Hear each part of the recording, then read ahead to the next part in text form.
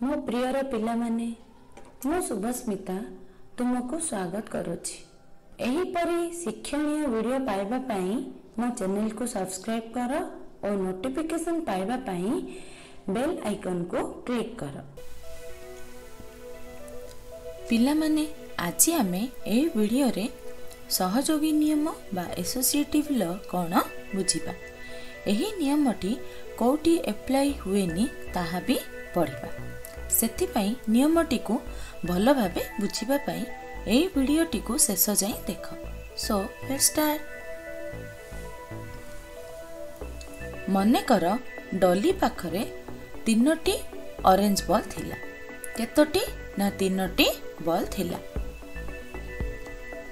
ତା ପାଇଁ ବାପା ଆଉ ଦୁଇଟି ବଲ୍ ଆଣିଦେଲେ। ହେଲେ ଡଲି ପାଖରେ କେତୋଟି ବଲ୍ ହେଇଗଲା? ନା ତା ପାଖରେ ତିନି ପ୍ଲସ୍ ଦୁଇ ଇକ୍ୱାଲ୍ସ ଟୁ ପାଞ୍ଚଟି ବଲ୍ ହେଇଗଲା। ଠିକ୍ ନା? ଡଲି ମାଙ୍କ ଗେଲା ଝିଅ। ସେଥିପାଇଁ ମା ବି ତା ପାଇଁ ପାଞ୍ଚଟି ୟେଲୋ ବଲ୍ ଖେଳିବାକୁ ଆଣିଦେଲେ। ଏବେ ଡଲି ପାଖରେ କେତୋଟି ବଲ୍ ହେଲା? ଏବେ ଡଲି ପାଖରେ ପାଞ୍ଚ ପ୍ଲସ୍ ପାଞ୍ଚ ଇକ୍ୱାଲ୍ସ ଟୁ ଦଶଟି ବଲ୍ ହେଇଗଲା। ହେଲେ ଏଠି କ'ଣ ଲକ୍ଷ୍ୟ କଲ? ନା ଆମେ ପ୍ରଥମେ ତିନିରେ ଦୁଇ ଆଡ୍ କଲେ। ତାପରେ ସେଥିରେ ପାଞ୍ଚ ଆଡ୍ କଲେ। ଆଉ ଟୋଟାଲ ଦଶଟି ବଲ୍ ହେଲା। ଭାବ ଯଦି ଡଲି ପାଇଁ ବାପା ଆଉ ମା ଦୁଇ ଜଣ ମିଶିକି ଏକାଥରେ ଦୁଇଟି ବ୍ଲୁ ବଲ୍ ଆଉ ପାଞ୍ଚଟି ୟେଲୋ ବଲ୍ ଦ୍ୟାଟ୍ ଇଜ୍ ଦୁଇ ପ୍ଲସ୍ ପାଞ୍ଚ ଇକ୍ୱାଲ୍ସ ଟୁ ସାତଟି ବଲ୍ ଏକାଥରେ ଦେଇଥାନ୍ତେ ତେବେ କ'ଣ ହୁଅନ୍ତା? ଏକା କଥା ହିଁ ପ୍ରଥମେ ଆମେ ଦୁଇ ପ୍ଲସ୍ ପାଞ୍ଚ ଇକ୍ୱାଲ୍ସ ଟୁ ସାତ ବାହାର କରିଥାନ୍ତେ। ଆଉ ସେହି ସାତକୁ ଆଗରୁ ଥିବା ତିନୋଟି ବଲ୍ ସହ ଆଡ୍ କରି ତିନି ପ୍ଲସ୍ ସାତ ଇକ୍ୱାଲ୍ସ ଟୁ ଦଶ ବାହାର କରିଥାନ୍ତେ।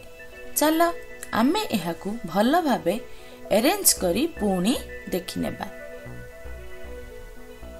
ଏଥିରୁ ଆମେ ଶିଖିଲେ ତିନି ଆଉ ଦୁଇ ଆଡ୍ କରି ସେଥିରେ ପାଞ୍ଚ ଆଡ୍ କରିବା ଯାହା ଦୁଇ ଆଉ ପାଞ୍ଚ ଆଡ୍ କରି ତା ସହ ତିନି ଆଡ୍ କରିବା ତାହା। ଏଡିସନ୍ ବା ଯୋଗ ପ୍ରକ୍ରିୟାରେ ଏହି ନିୟମକୁ ସହଯୋଗୀ ନିୟମ ବା ଏସୋସିଏଟିଭ୍ ଲ ବୋଲି କୁହାଯାଏ। ସତରେ ଏହା ବହୁତ ସହଜ ନା? ଗୋଟେ ଏକ୍ଜାମ୍ପଲ ନେବା।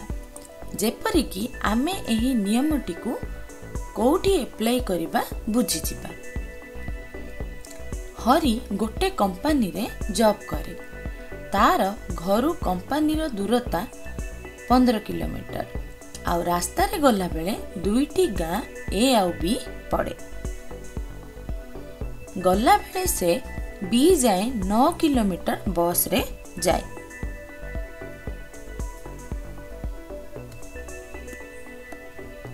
ଆଉ ବାକି ଛଅ କିଲୋମିଟର ଚାଲି ଚାଲି ଯାଏ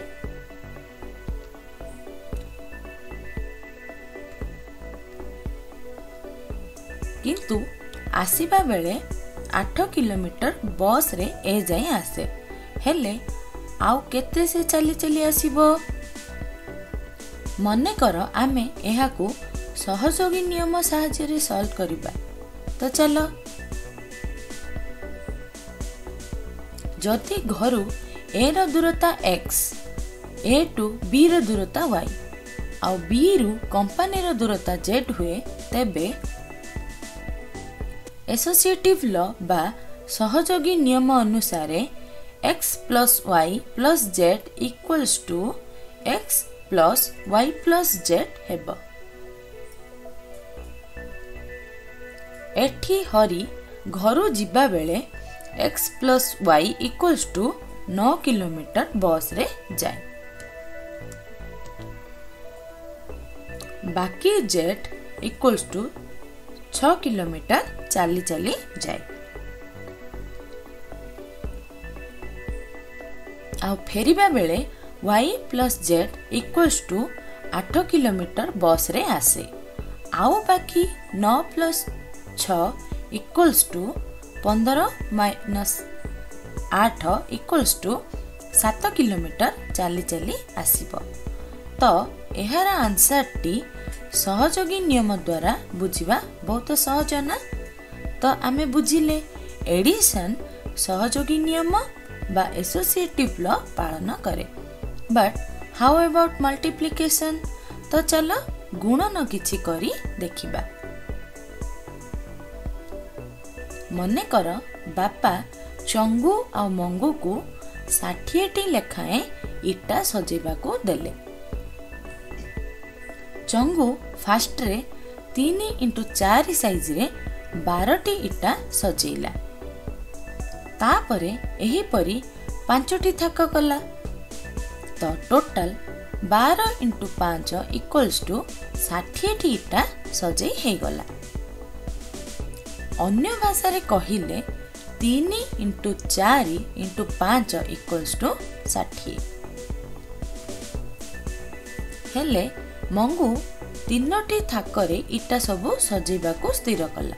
ତେଣୁ ସେ ଫାଷ୍ଟରେ ଚାରି ଇଣ୍ଟୁ ପାଞ୍ଚ ଇକ୍ୱାଲ୍ସ ଟୁ କୋଡ଼ିଏଟି ଇଟା ଫାଷ୍ଟରେ ସଜେଇ ରଖିଲା। ଆଉ ଏହିପରି ଆଗରୁ ଡିସାଇଡ୍ କରିଥିବା ଭଳି ତିନୋଟି ଥାକ କଲା। ତେଣୁ ତିନି ଇଣ୍ଟୁ ଚାରି ଇଣ୍ଟୁ ପାଞ୍ଚ ଇକ୍ୱାଲ୍ସ ଟୁ ବି ଷାଠିଏ ହେଇଗଲା। ତ ଏଥିରେ ଆମେ କ'ଣ ଶିଖିଲେ? ନା ମଲ୍ଟିପ୍ଲିକେସନ୍ ବା ଗୁଣନରେ ବି ଆମେ ତିନୋଟି ନମ୍ବର ଭିତରେ ଯେକୌଣସି ଦୁଇଟି ନମ୍ବରକୁ ଫାଷ୍ଟ ମଲ୍ଟିପ୍ଲାଇ କରିବା ଆଉ ତାପରେ ଥାର୍ଡ ନମ୍ବରଟିକୁ ସେଥିରେ ଗୁଣିପାରିବା ଏହାକୁ ଗୁଣନର ସହଯୋଗୀ ନିୟମ ବା ଏସୋସିଏଟିଭ୍ ଲ ଅଫ୍ ମଲ୍ଟିପ୍ଲିକେସନ୍ କୁହାଯାଏ। ତ ଆମେ ମିଶାଣ ଆଉ ଗୁଣନ ସହଯୋଗୀ ନିୟମ ପାଳନ କରେ ଜାଣିଲେ। କିନ୍ତୁ ଏହିପରି ଫେଡ଼ାଣ ଆଉ ହରଣ ମଧ୍ୟ କ'ଣ ସହଯୋଗୀ ନିୟମ ପାଳନ କରନ୍ତି? ତ ଚାଲ ଦେଖିବା। ତିନୋଟି ନମ୍ବର ବାଲା ଗୋଟେ ଫେଡ଼ାଣ ବା ବିୟୋଗ ବା ସବଷ୍ଟ୍ରାକ୍ସନର ଏଇ ଏକ୍ଜାମ୍ପଲଟି ନେବା। ତୁମେ ନିଜେ କରି ଦେଖ ଆନ୍ସର ଠିକ୍ ଅଛି ନା ନାଇଁ? ଏଠି ଆମେ ଫାଷ୍ଟ ଏକ୍ଜାମ୍ପଲରେ ନଅ ମାଇନସ୍ ଚାରି ଇକ୍ୱଲ୍ସ ଟୁ ପାଞ୍ଚ ବାହାର କଲେ।